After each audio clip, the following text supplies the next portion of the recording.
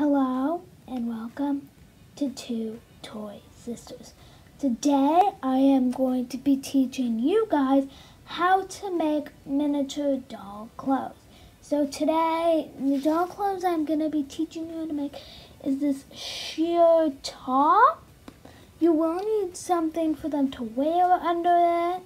I just found some black clothes.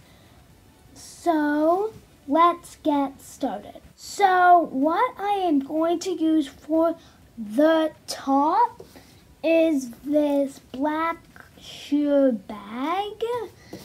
And so basically, this year I went trick-or-treating. You have may not, but I did. And lots of people were putting the candy in the bags. And one person put it in this black shoe bag. And I thought it looked a lot like a black sheer top. So what you're gonna do to start is take the bag, then cut off just a little bit of the bottom so that the doll can fit through.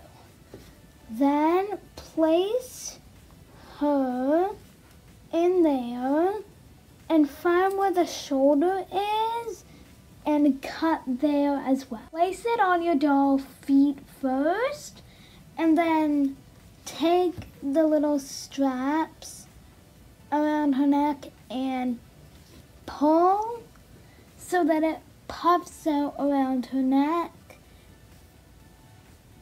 Tie knot with the strings. To finish your no sew no glue top.